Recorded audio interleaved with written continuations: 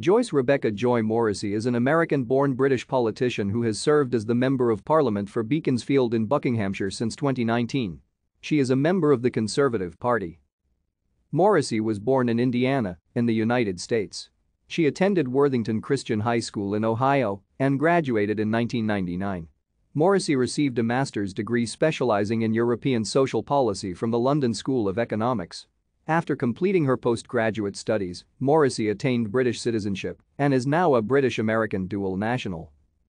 In the late 2000s, Morrissey had a brief acting career, appearing under the name Joy Bowden in a short film, a TV movie and one feature-length, straight-to-video title. After becoming a mother, she decided not to return to the film industry.